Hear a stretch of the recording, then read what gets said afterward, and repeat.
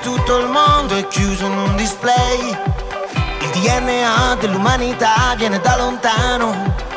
Che ogni tre respiri sciogli due ghiacciai. Il telefono ci spia, sono della CIA, i silenzi d'oro.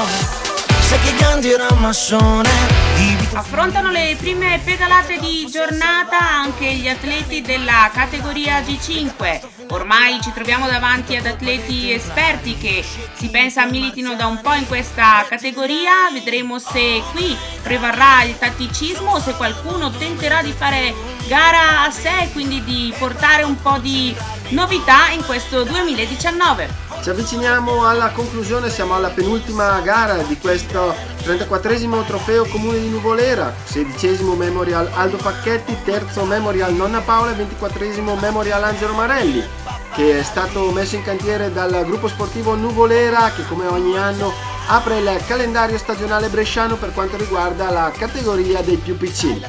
Gli atleti della categoria G5 dovranno affrontare 10 giri del circuito che misura poco più di un chilometro, quindi oltre 10 chilometri di gara per questi atleti. Aperto un bar che si chiama Star, fanno affari d'oro.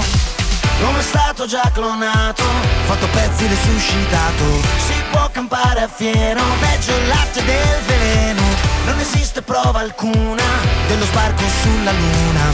Le piramidi egiziane sono marziane. Siamo ormai nelle fasi finali con una maglia della Mazzano che entra per prima nella curva finale ma viene poi rimontato dalle maglie rosa-nera della Ronco che la fanno alla fine da padrone. Vince Giulio Franceschini davanti a Nicolas Reccagni e Alessandro Marzocchi.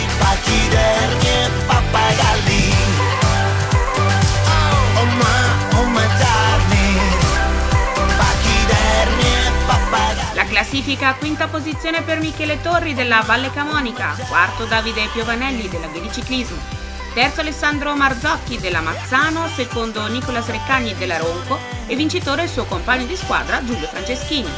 Per quanto riguarda le ragazze, terza posizione per Miriam Bonzanini della Freccia Rossa, seconda Cristin Valseschini della Mazzano e vincitrice Margherita Putelli della Ronco.